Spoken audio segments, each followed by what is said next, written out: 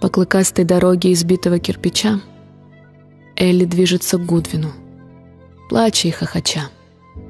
Волшебство на пределе. Взрывается ведьмин чат.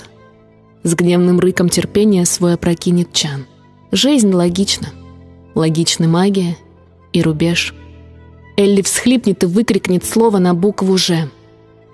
Злые феи себе выбирают понятных жертв, тщетно ищущих чувства, смыслы и ПМЖ. «Отдавай. Отдавай, а ты после возьмешь свое». Так гласит людское, возвышенное вранье. Вдруг залает Татошка, услышав звериный рев, проносящийся эхом сквозь зарево всех времен. Так появится львенок в коронном венце шута. Элли выпалит «Кто ты?» и дрогнут его уста. Я не знаю.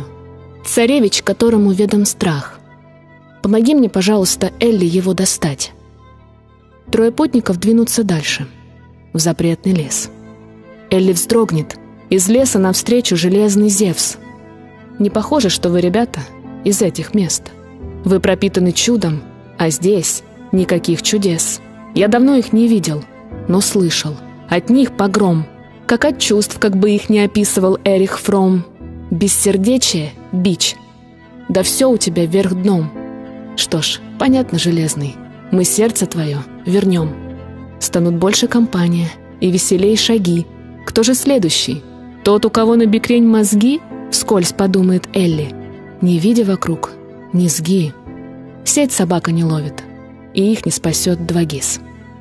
Разлетятся вороны, соломенный крикнет «Хай!» От испуга Татошка сорвется в гневливый лай. Элли фыркнет. «Святые угодники! Что за край? Да когда ж мы уже придем в изумрудный рай?» После будут Бастинда, баталии, хворь и кровь.